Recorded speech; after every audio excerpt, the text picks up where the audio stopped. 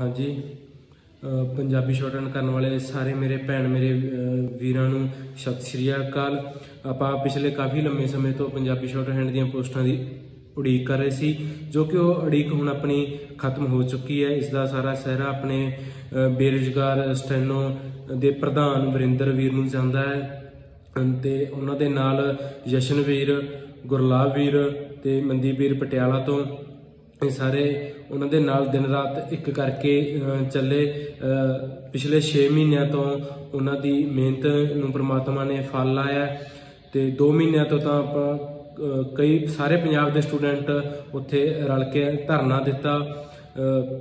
ਜੇਕਰ ਆਪਾਂ ਹੋਰ ਵੱਧ ਚੜ ਕੇ ਵੀ ਉੱਥੇ ਹਿੱਸਾ ਲੈਂਦੇ, ਹੋਰ ਆਪਾਂ ਉਸ ਨੂੰ ਲੰਮਾ ਚਲਾਉਂਦੇ, ਤਾਂ ਹੋ ਸਕਦਾ ਸੀ ਆਪਾਂ ਹੁਣ ਤੱਕ ਪੇਪਰ ਦੇ ਕੇ ਵੀ ਫ੍ਰੀ ਹੋ ਜਾਂਦੇ। ਚਲੋ, ਜੋ ਵੀ ਹੋਇਆ ਉਸ ਨੂੰ ਆਪਾਂ ਨਹੀਂ ਬਦਲ ਸਕਦੇ। ਹੁਣ ਮੈਂ ਇਹੀ ਕਹੂੰਗਾ ਕਿ ਸਾਰੇ ਦਿਨ ਰਾਤ ਇੱਕ ਕਰਕੇ ਆਪਣੀ ਮਿਹਨਤ ਆਪਣੀ ਮਿਹਨਤ ਇਮਾਨਦਾਰੀ ਨਾਲ ਕਰਨ, ਤਾਂ ਕਿ ਤੁਸੀਂ ਸਫਲਤਾ ਪ੍ਰਾਪਤ ਕਰ ਸਕੋ।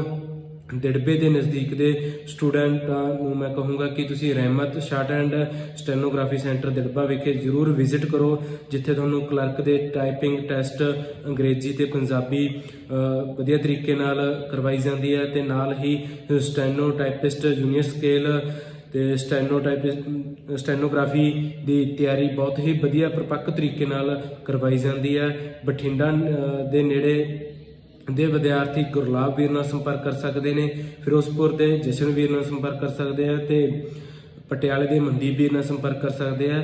ਮਾਨਸਾ ਦੇ ਤੁਸੀਂ ਮੇਰੇ ਨਾਲ ਸੰਪਰਕ ਕਰ ਸਕਦੇ ਹੋਗੇ ਛੋਟਨ ਪਵਨ ਸੈਂਟਰ ਮਾਨਸਾ ਵਿਖੇ ਚੱਲ ਰਿਹਾ ਹੈ ਤੇ ਛੋਟਨ ਪਵਨ ਮਾਨਸਾ ਦੇ ਨਾਂ ਤੇ ਹੀ ਆਪਣਾ YouTube ਪੇਜ ਆ, ਜਿਸ ਦੇ ਵਿੱਚ ਡਿਕਟੇਸ਼ਨਾਂ ਪ੍ਰੋਵਾਈਡ ਕੀਤੀਆਂ ਜਾਂਦੀਆਂ ਨੇ ਤੇ ਤੁਹਾਡੀ ਹਰ ਇੱਕ ਇੱਕ ਤਰ੍ਹਾਂ ਦੀ ਹੈਲਪ ਕੀਤੀ ਜਾਊਗੀ। ਤੁਸੀਂ ਕਿਸੇ ਵੀ ਵੀਰ ਨਾਲ ਸੰਪਰਕ ਕਰ ਸਕਦੇ ਹੋਗੇ ਵਰਿੰਦਰ ਵੀਰ ਨਾਲ, ਜਸ਼ਨ ਵੀਰ ਨਾਲ, ਗੁਰਲਾਬ ਵੀਰ ਨਾਲ ਤੇ ਮਨਦੀਪ ਵੀਰ ਨਾਲ।